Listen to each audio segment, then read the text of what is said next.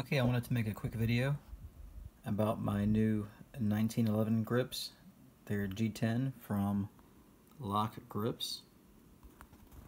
And these are made to fit exactly on these uh, Wilson Combat magazine wells. And this is the mag well that hooks over the hardware for your grip screws. It is not a one-piece um, magwell that is attached to the mainspring housing. Okay, it's just a quick look.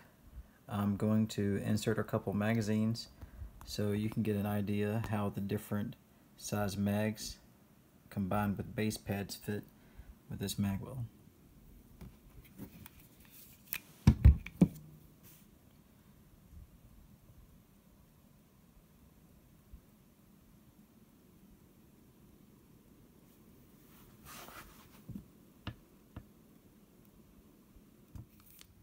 And these are from LOK Grips. Here is the Metalform 10 rounder. It comes out just enough to get a good um, seat on your magazine. And it has this little base pad, I guess that's for keep the magazine from over, over inserting and hitting that ejector. That's the Metalform 10 rounder. This is the Springfield um, 9 round magazine with the CMC products base. And if you do put a beveled magwell, see how easy that goes in there? Um, your standard um, 9 rounders, it's going to be a little bit more tough to get those to seat, although you can do it. And if you've noticed, um,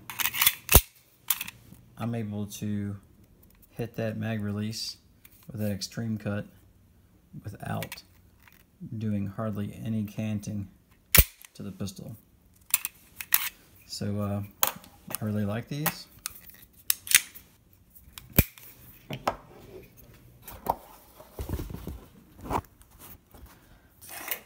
think they make the gun look very nice.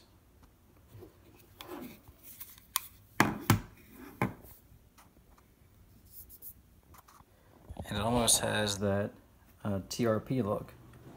But I have way less into this gun than a TRP uh, would have cost me. And I picked this gray um, because I thought it would go good with that logo. And uh, these grips I also ordered the slim grips because the factory grips are slim and I wanted to reuse the hardware. That's a pretty close color match. I actually like that gray better See if I can get a better close-up. The texture on these is nice. It's almost um, the equivalent of a rough uh, sprinkle stipple job on a Glock frame. This is how these fit up.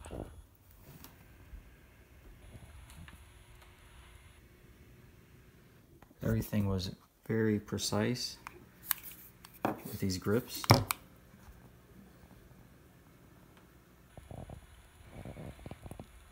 Slight overhang over the mag well, but very happy with these. I think these were like uh, $46 after I used a promo code. I forgot if I found it on AR15.com or the 1911 forum. But uh, I'm pretty happy with this. Oh, and the other thing that I did, I blocked out that rear with a toothpick and some black fingernail polish and I changed out the fiber optic to red because the green was way too intense during the day. Alright, um, that's pretty much all I've done.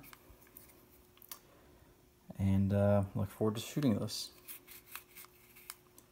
Alright, have a good night.